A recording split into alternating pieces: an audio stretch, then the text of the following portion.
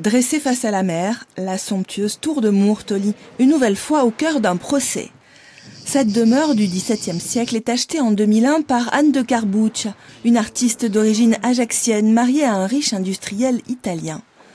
Paul Canarelli, propriétaire du prestigieux domaine de Mourtoli, conteste cette vente.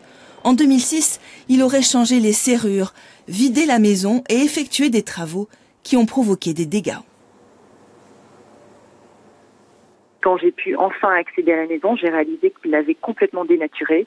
Il avait fait des travaux très cheap euh, pour clairement un tourisme qui n'avait rien à voir avec euh, l'historique euh, de cette maison, de cette bâtisse qui est mythique et très ancienne. Et en plus, Paul Canary s'échine à détruire la faune et la flore de ce site qui est unique au monde. C'est un site classé.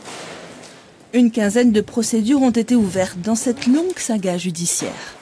Les poursuites contre Paul Canarelli pour vol et violation de domicile avaient abouti à un non-lieu à Ajaccio.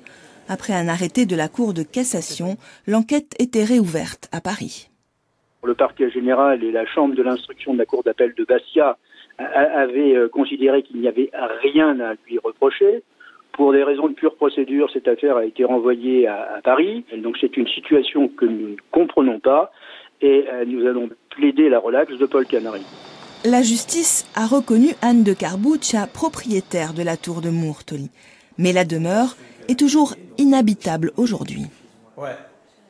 Le problème, c'est que cette maison a été euh, quasiment détruite dans son intérieur par une fuite d'eau dont M. Canary est à l'origine et d'ailleurs pour laquelle il a été condamné.